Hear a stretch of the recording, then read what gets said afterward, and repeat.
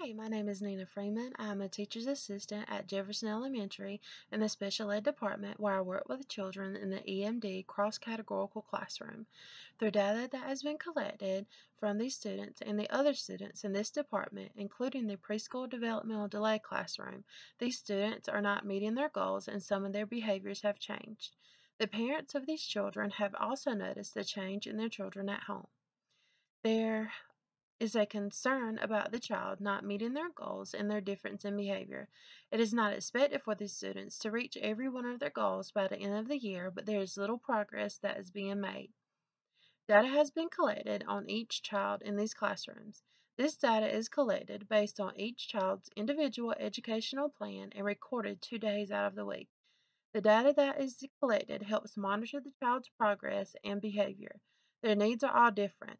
Some children may need more help with fine motor skills, and some children are ready for academic instruction, such as learning their letters and numbers or up to learning addition and subtraction. There is also behavior sheets prepared for each student depending on their behaviors and how they are alleviated. The data that was compiled after the second nine weeks shows that these children were making some progress in their goals. Also, the behavioral techniques that were discussed through meetings with staff and parents were working. The data collected for the end of the fourth nine weeks shows that these children have regressed. There has also been a significant turnaround with teachers and assistants in these classrooms.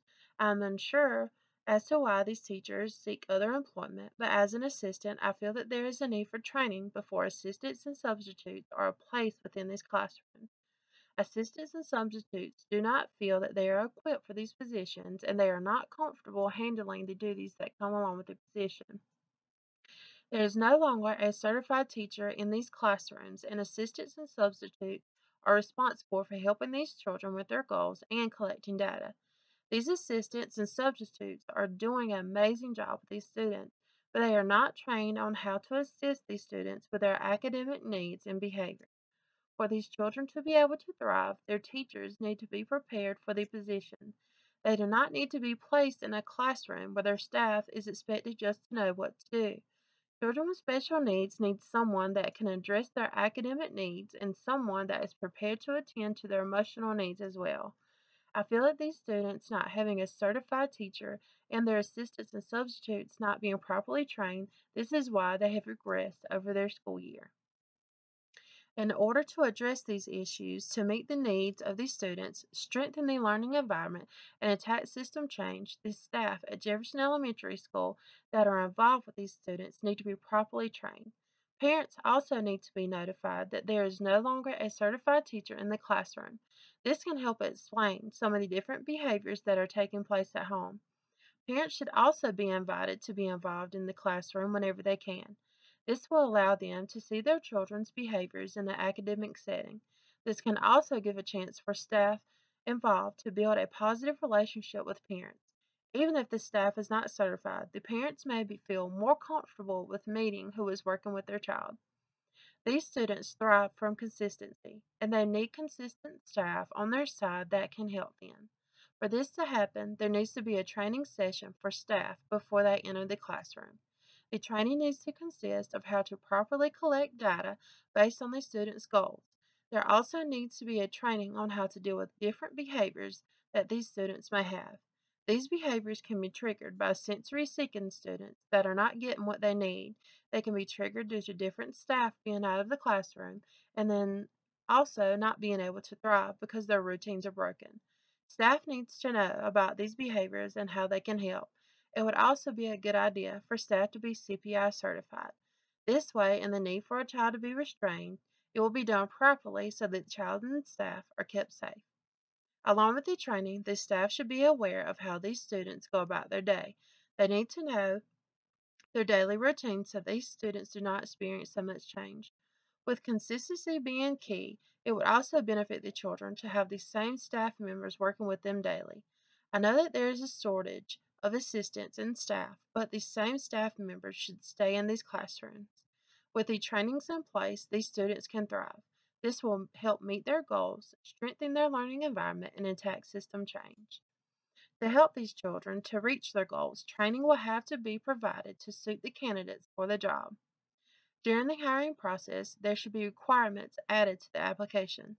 The requirements should be these training courses that will help prepare staff to enter the classroom working with children with special needs.